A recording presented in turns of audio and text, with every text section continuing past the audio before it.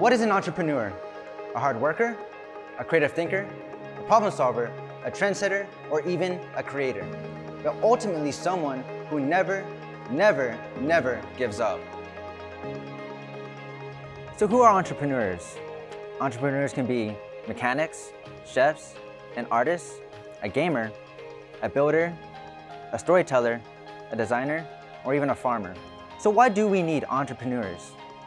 Well, if you really think about it, everything we have started with an entrepreneur.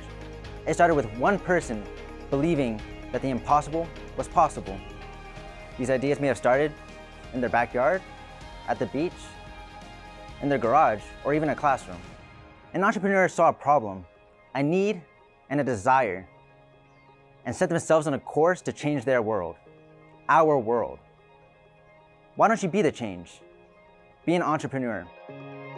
Register for entrepreneurship.